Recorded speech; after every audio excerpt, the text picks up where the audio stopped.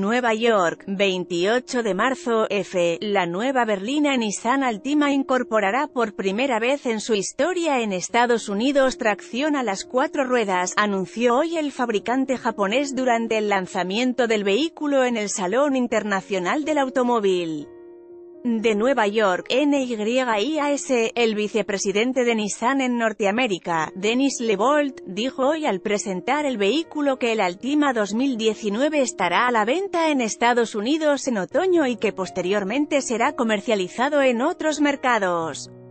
Hemos visto que la falta de tracción total ha sido un factor clave en empujar a los consumidores estadounidenses que prefieren berlinas a los todocaminos SUV compactos, indicó LeBolt.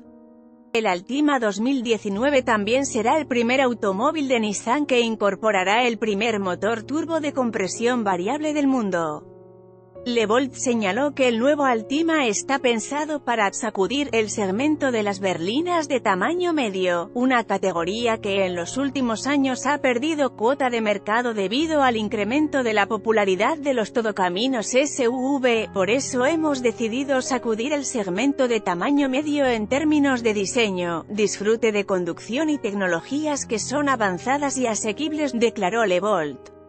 El Altima 2019 supone el lanzamiento de dos nuevos motores, el primero reemplaza al de 3,5 litros en V6 que equipaba la anterior generación del vehículo.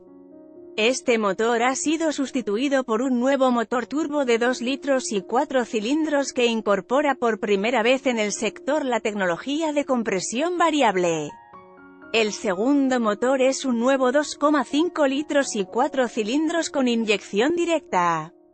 El sistema de tracción total inteligente estará disponible en todas las versiones equipadas con el motor de 2,5 litros.